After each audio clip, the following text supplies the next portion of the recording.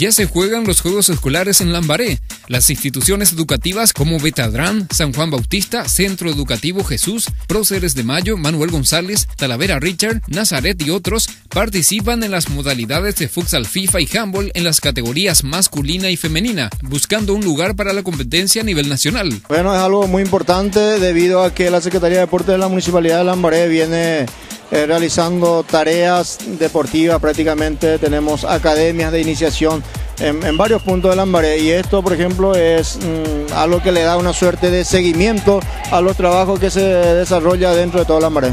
Profe, ¿cuántos colegios están participando de la jornada inaugural?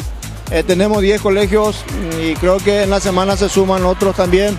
Eh, lo que tuvimos también de inconveniente, la jornada lluviosa de ayer, entre hoy que amaneció un tanto dudoso también, influyó de alguna manera un poco negativamente a este evento, pero eh, como podrán observar también esto igual tiene brillo y, se está desarrollando normalmente e incluso se ve eh, el muy buen nivel de algunos de los colegios. Las autoridades presentes en el acto fueron Justo López, secretario general de la Secretaría Nacional de Deportes, profesor César Benítez, secretario de Deportes de la Municipalidad Local y entre otros.